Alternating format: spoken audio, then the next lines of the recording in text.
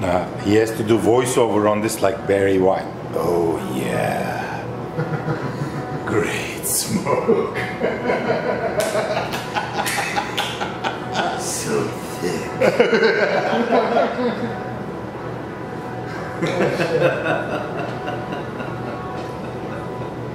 It's getting hot in here. Ah, this is beautiful, right?